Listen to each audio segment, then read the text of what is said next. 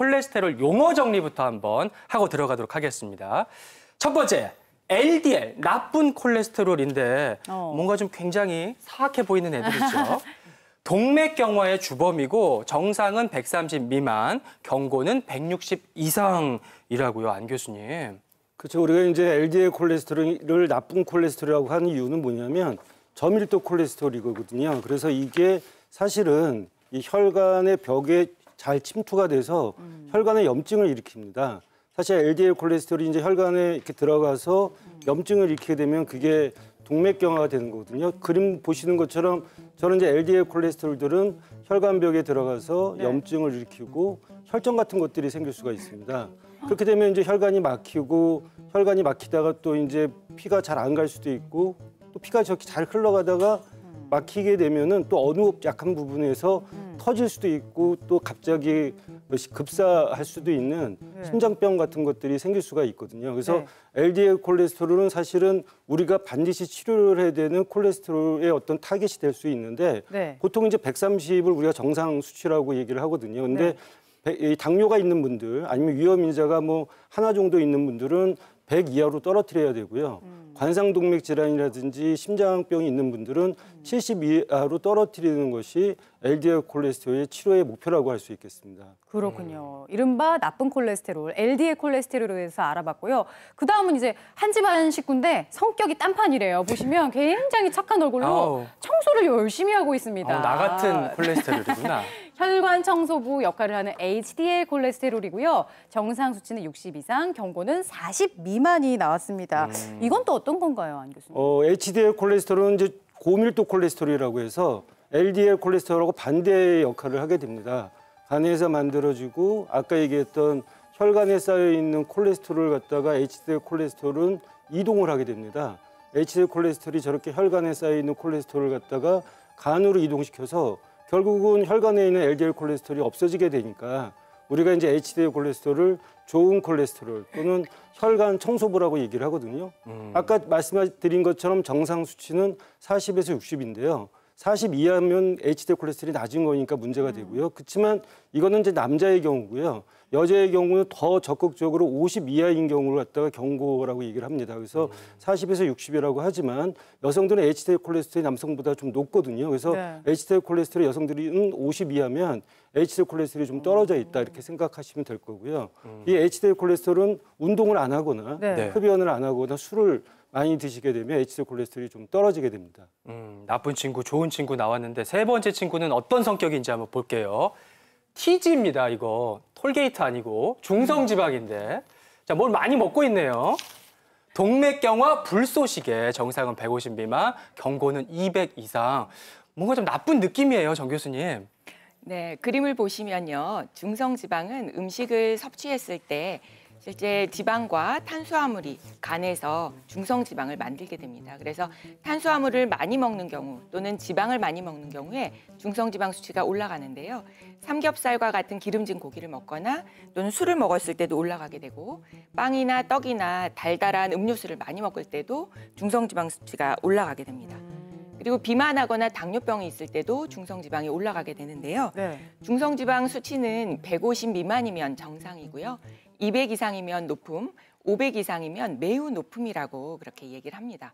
그런데 문제는 중성 지방이 높아지면 높아질수록 LDL 콜레스테롤의 입자가 자꾸 단단해져서 동맥경화증을 잘 일으키게 되고요. 어. 또 좋은 콜레스테롤이라고 했던 HDL 콜레스테롤이 감소하게 되기 때문에 동맥경화증의 불쏘시개라고 그렇게 얘기를 하게 됩니다. 또한 중성 지방이 500mg/dL 이상 너무 많아지면 네네. 췌장염을 일으켜서 복통으로 응급실을 가게 되는 것이죠. 네. 그렇군요. 근데 이제 여기서 궁금증이 하나 생겼어요. 수치가 모두 세 개잖아요. 네. 이 중에서 나쁜 게 너무 높거나 좋은 게 너무 낮거나 아니면 중성 지방이 너무 높거나 요 중에 하나만 해당이 돼도 고지혈증이라고 할까요, 교수님? 네. 예, 맞습니다. 그 이상 지질혈증이라고 아까 말씀드린 적이 있는데요. LDL과 중성 지방은 높을수록 나쁜 거고 HDL은 낮을수록 나쁜 거기 때문에 고지혈증보단 이상 지질혈증이고요. 그리고 정상 범위로 제시된 HDL 40에서 60, 그다음에 LDL 130에서 160 이런 수치들은 사실은 다른 위험 인자 여부에 따라서 나한테 적합한 수치는 달라질 수 있습니다. 제일 대표적인 게 고지혈증, 고혈압, 그리고 당뇨병, 흡연 등과 같은 여러 위험 인자를 보고 나한테 필요한 수치를 조절해야 돼서 HDL이 낮거나 LDL이나 TG, 중성지방이 높은 건 모두 이상 지질혈증에 해당될 수 있습니다. 네. 그럼 뭐나 교수님 말씀 듣고 보면 이 고지혈증 수치 기준이 절대적인 게 아니란 말씀이잖아요. 그럼 이, 이 수치를 좀 더 잘 관리해야 되는 분들이 있을까요, 교수님? 예, 그렇습니다. 그 요 정상 수치를 벗어날 때 경고라고 한 거지 그때부터 약물 치료가 꼭 필요한 거는 아니고요. 네. 그래서 약물 치료가 필요하다고 판단할 경우에는 흔하게 저희가 네 가지 정도로 나누는데요.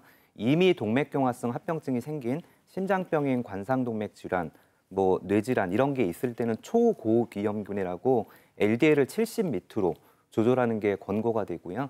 그리고 아직은 증상이 있는 병은 아니지만 당뇨병이나 경동맥, 복부 동맥류 같은 동맥경화성 질환이 있는 경우에는 100 미만, 그리고 저런 동맥경화성 합병증이 전혀 없는 경우에도 위험 인자가 두 개 이상인 경우에는 130 밑으로 조절하는 게 권고가 되고요.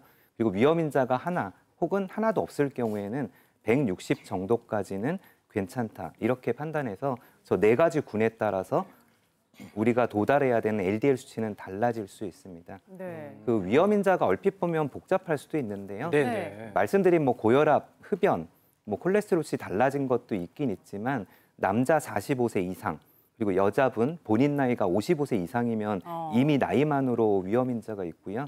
그리고 관상동맥 조기 질환 가족력이라고 내 친척 중에 남자분인데 55세 이전에 심장병, 관상동맥 질환이 있다. 여자 친척분은 65세 이전에 관상동맥 질환이 생기면 나한테도 위험 인자가 됩니다. 중요한 것은 이모, 할머니, 할아버지는 아니고요. 네. 위험 인자로 계산되는 가족력은 일차 친척, 부모, 아. 형제, 자녀에 한해서 적용할 수 있습니다. 어, 그렇군요. 근데 말씀하신 고지혈증 주요 위험인자 갖고 계신 분들 이외에도 또 이런 분들이 고지혈증 잘 온다고 하는데 요주의 인물 여섯 분을 저희가 모셨습니다. 첫 번째 분은 뱃살이 흘러내리시는 어. 이름하야 뱃살 부자 배부자 씨. 예. 아, 그리고 두 번째 요조의 인물은 딱 보시면 술을 엄청 드시고 계십니다. 예. 자, 이분은 술 좋아하는 애주가 주고래 씨예요. 세 번째 분은 차돌박이에 삼겹살에 고기를 너무나 좋아하시는 고기 좋아하는 소차돌 씨. 이런 분들이 참 위험한 인물이라고요, 안 교수님. 네, 지금 저 배부자 씨처럼 이제 뱃살 지방이 많은 분 있지 않습니까? 저런 분들은 사실은 이제 내장 지방이 많거든요. 그래서 내장 지방에서 나오는 나쁜 호르몬들은 결국은 이 고지혈증, LDL 콜레스테롤 같은 것들을 올릴 수가 있고요. 또 주고래 씨처럼 이제 술을 많이 드시는 분들, 남자들 그렇죠. 근데 술이라는 것은 사실은 엄청나게 칼로리가 높은 식품입니다. 근데 어. 그걸 갖다 우리가 이제 엠프티 칼로리라고 해서 공허한 칼로리라고 해서 그걸 쓰지 못하고 있지만 그 칼로리가 결국은 다 중성지방이라든지 이런 고지혈증의 위험 요소가 될 수 있는 거죠. 그리고 저렇게 이제 소차돌 씨처럼 포화 지방 고기를 많이 드시는 분들 있잖아요. 예. 저런 분들은 결국 맛은 좋지만 결국 그런 포화 지방 때문에 이상 지질혈증, 고지혈증이 생길 수가 있는 거죠. 그러니까 고기 구워 먹으면서 술까지 마시면 정말 안 좋겠어요. 그 다음 또 고지혈증 주의하실 분들 세분 네. 살펴봅니다. 이 그림 보시면 담벼락이 있죠. 그리고 그 앞에 이제 운동기구가 있는데 바로 운동과 담 싸움 아. 난을 보십니다. 예, 그리고 두 번째 어머님은 혈당이 흘러 넘쳐서 걱정이세요. 예. 흘러 넘치는 혈당이 고혈당 씨. 네, 그리고 이제 아버지도 약을 드시는데 아드님도 약을 드시는 바로 고지혈증 가족력에 있는 대대로 씨도 대대로. 조심하셔야 된다고요, 정 교수님. 네, 첫 번째 분처럼 운동과 담 쌓고 많이 드시고 하면 결국 비만해지게 되죠. 그래서 비만하신 분들은 LDL 콜레스테롤도 높아지고 중성 지방도 올라가고 HDL 칼- 콜레스테롤이 감소되는 그런 이상 지질혈증이 잘 생기게 됩니다. 네, 두 번째로 이제 당뇨병 있는 분이 걱정인데요. 당뇨병 있는 분들은 당뇨 없는 사람보다 실제 심근경색, 뇌경색의 발생률이 다섯 배 이상 높고요. 심장 혈관의 시술을 받는 분들도 당뇨병이 있으면 없는 사람보다 일곱 배 이상 굉장히 높습니다. 이런 이유는 바로 당뇨가 있게 됐을 때 LDL 콜레스테롤의 입자가 작아져서 혈관벽을 잘 뚫고 들어가고 염증을 일으켜서 죽상경화증, 동맥경화증을 잘 일으키기 때문인데요. 당뇨병이 있는 분이라면 똑같은 LDL 콜레스테롤 가지고 있는 당뇨 없는 분과 비교했을 때 수치의 문제가 아닙니다. 그 안에 있는 LDL 콜레스테롤의 입자가 자꾸 단단해서 어. 혈관에 염증을 잘 일으킨다는 점을 꼭 기억하시기 바랍니다. 네.